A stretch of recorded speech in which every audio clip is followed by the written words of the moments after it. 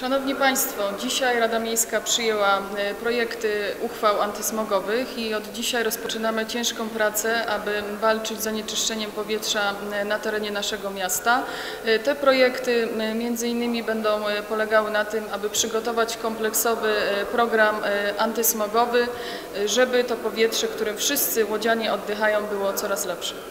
W założeniach programu przede wszystkim są rzetelne badania, edukacja mieszkańców, informowanie ich o stanie powietrza, e, ale również e, wsparcie mieszkańców i nie tylko w wymianie e, źródeł ciepła, ale również wsparcie mieszkańców, którzy, którzy być może będą mieli problemy z płaceniem więcej za ogrzewanie, ale pamiętajmy o tym, że ważniejsze jest to, e, żebyśmy byli zdrowi e, wszyscy i ci mieszkańcy również.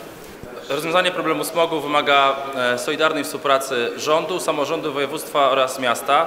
Problem zanieczyszczenia powietrza dotyka każdego z nas, i starych, i młodych. Bardzo liczymy na Państwa wsparcie, na mobilizację mieszkańców, którzy będą razem z nami wywierali presję na odpowiednie władze, po to, żebyśmy mogli skutecznie walczyć z tym poważnym zagrożeniem dla zdrowia mieszkańców naszego miasta.